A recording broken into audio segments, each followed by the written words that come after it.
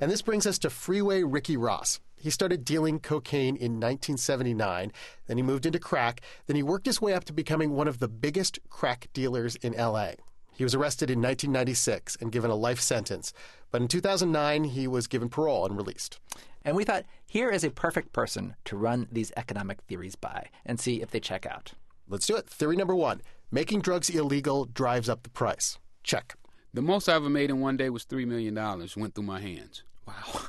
I could make off of a million bucks, I could make anywhere from 400,000 to 200,000 profit. It varied to who I was selling to and uh, uh, what time of the month it was. You know, a lot of variables on how much I made. If I was giving it to them on credit, stuff like that. So, but I was sure to make 200,000 off of every million and sometimes I could make as much as 400,000. Let me just ask you, like how how much of the cost of the drug that you were selling was because it was illegal, I guess.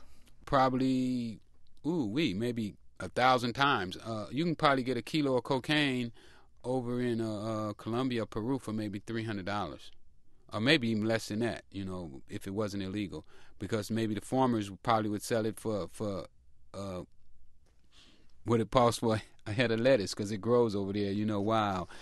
So I mean, the price probably would drop dramatically. You probably could get a kilo for what it costs about a pack of cigarettes. Maybe cheaper. Keep in mind, Rick bought his kilos of cocaine for $10,000. All right, so next we ran another part of the theory by him that at least some of the money he's getting is going to increased crime. Again, check. Well, I had a crew. You know, I had a crew of anywhere from 30 to 40 guys. That varied too from what was going on, you know, how, how good business was, uh, how many rock houses I was running at the time. You always had an appearance of toughness, uh-huh. and, and I did. You know, I had guys around me that were ruthless and were tough. You know, if I gave a word, they would hurt you. How, how much, how, how many guns did your operation have? Who knows? we bought guns regularly because guys would throw guns out the window when the cops get behind them, and, and we lose guns all the time. And it was mandatory uh, when when when we were on the street. Like if we at the park playing basketball, we had to be strapped. Or if we at my uh, tire shop where we sold drugs from, then we would have guns there. Now, it's really amazing the level of expenses that a big time drug dealer has. I mean, the drug money wouldn't just be for his crew, he would spread it around. I mean, his drug money would find its way into all sorts of other illicit activities in the neighborhood. For instance, he had money that he'd just distribute to the big players around the hood. Uh, you know, I had a fund also, you know, where, where, where I take care of what's called the big homies.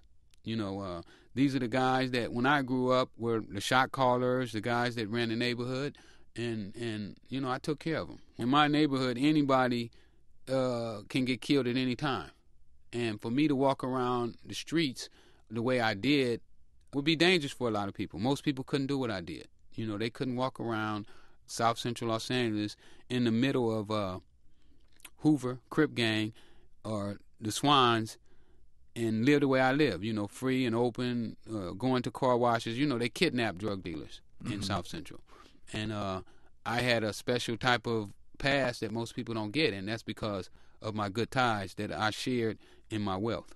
So you basically, it was sort of like you were paying protection money to these people, right? Absolutely. You can call it protection money or big homie money or whatever, but it's all the same thing. Absolutely. But it was it was money going to people who who, who didn't sell drugs, but, but who they, would who would they be were violent. robbers. Yeah, they were robbers. They was killers, jackers as we call them. Absolutely. These guys didn't mind going to jail. So clearly the academics are right here. Drug money goes to crime. I guess that's not a big surprise.